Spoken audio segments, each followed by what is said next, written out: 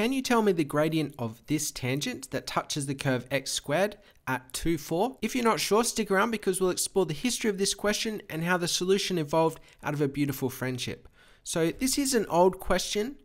Uh, philosophers in ancient Greece thought about tangents. Uh, Archimedes is an example. He was alive uh, from 287 before chickens to 212 before chickens, and he was a fan of tangents. He found uh, tangents to what we now call the Archimedean spiral. Uh, so if you look at the first turn of this spiral, he worked out that if you draw a tangent at any point on that first turn of the spiral, then you draw a circle through where the tangent touches the curve, uh, the normal to the radius of that circle will be equal to the arc of the circle.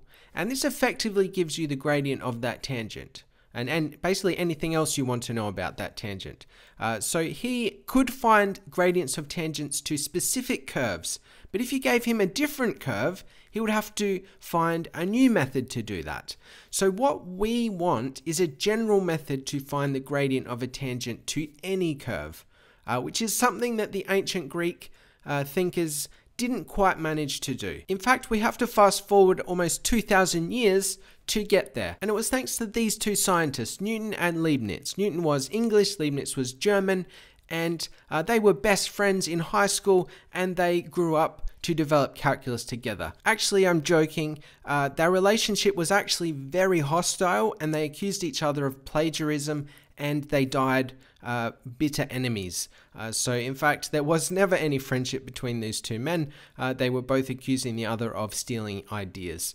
Uh, so, but anyway, they were credited jointly with developing calculus. And so let's have a look at how they eventually solved this problem of finding the gradient to a curve. So let's start with a curve. Let's call this any function f of x and let's look at a point on that curve. Let's say, let's call that x, f of x, and we want the gradient of that tangent. Traditionally, we would say we can't find the gradient with just one point. We need two points. To find the gradient, we want the rise over the run. Uh, so that's what we're going to do. We're going to draw another point on this curve and find the gradient of this line between those two points. The second point we're going to call x plus h and f of x plus h. So we've just added a little bit onto that x coordinate and correspondingly we use that as the input of the y coordinate.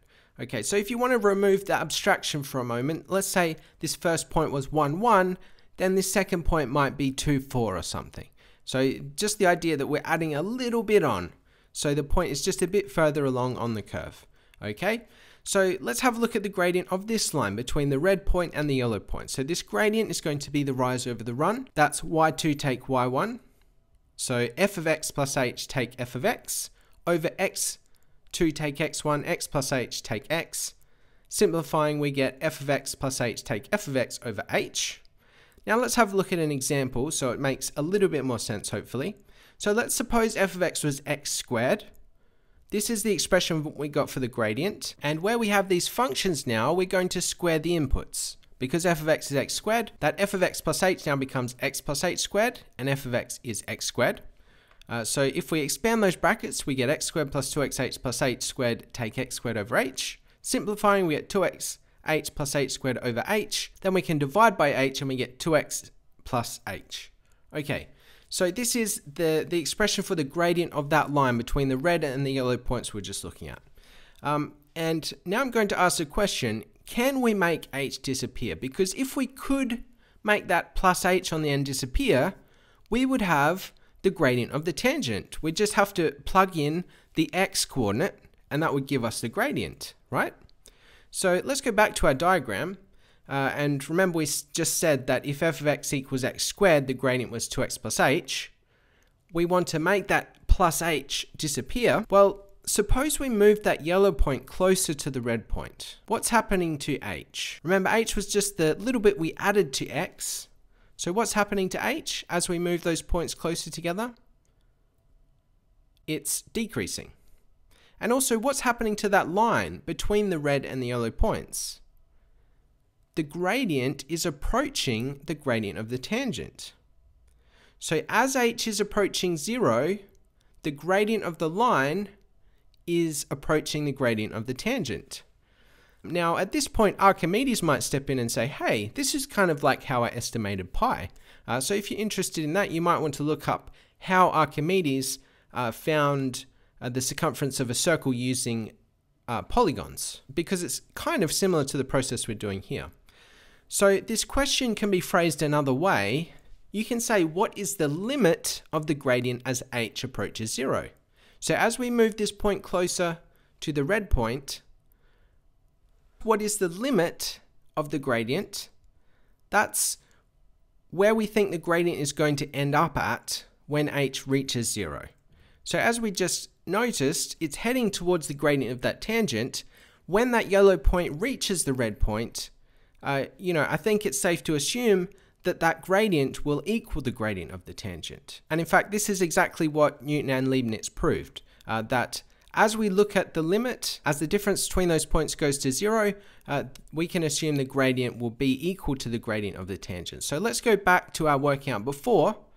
We had the gradient equal to 2x plus h. Now we're going to introduce a little bit of new notation. So we're going to say the gradient of the tangent at x is equal to the limit as h approaches zero. So we're going to use this LIM with an h pointing to a zero. Underneath it, this stands for the limit as h approaches zero. So we add this to each line of working out, and now we can create this equality. So we can say this is actually equal to the gradient of the tangent at x. And now we get to this final expression, and we ask, well, what is happening when h approaches zero? 2x plus h becomes 2x. So we look at that limit case. What is happening at that limit? And then instead of writing the gradient of the tangent at x, we introduce some new notation, f dash x. This was notation used by Leibniz. Um, so that is the notation we use to represent uh, the, the derivative, which is what we call this, the, the gradient of the tangent. I have seen some sources arguing that the ancient Greek philosophers would have had a problem with, with this equality, uh, saying that the tangent is equal to the limit. Uh, I'm not sure. Uh, Archimedes himself proved that infinite series converge, but there is an interesting history between how we do this mathematics today compared to uh, how the ancient Greeks would have thought about it. So what we're doing falls under the topic of calculus, and looking for the gradient of the tangent is something called differentiation. Uh, so differentiation comes from the word to differentiate. Uh, so think about how we find the gradient by looking at the difference between points on a curve. So that comes from difference, differentiate, differentiation. And this function f dash x is also called the derivative. Okay, why though? Why do we care about finding the gradient of a curve? Apart from it being an interesting question on its own, uh, calculus is used in video games. Any physics engine running any game like Fortnite or Minecraft or Roblox will be using calculus to calculate uh, you know, how things move around in that world. Rockets, we're using calculus to work out their trajectories and how they fly through the air and things like that. Uh, anything to do with space travel, we'll need calculus to work out how to fire a rocket into space and how it's going to behave as it travels around Earth or the solar system.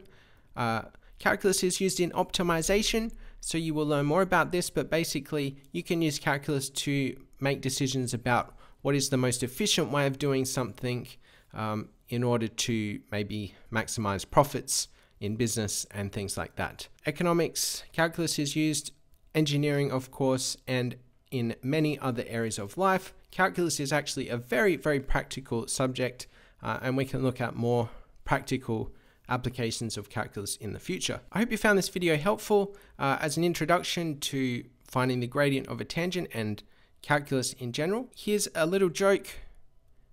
Uh, so Archimedes, Newton, and Leibniz walk into a bar. The barman says, uh, "How? What can I get you?" Archimedes says, "Please pour me half a glass, then pour half of that again. Repeat the pouring in this way until you can serve me a full glass." Newton says, "Please pour me the limit of the infinite series: a half plus a quarter plus an eighth plus a sixth, and so on." And Leibniz says, please pour me the limit of the infinite series a half plus a quarter plus an eighth plus a sixteenth, and so on. Yeah, I, I don't know if that classifies as joke. Well, there you go. That was my attempt at a joke. Leave a like if you want. I'll see you in the next one. Bye for now.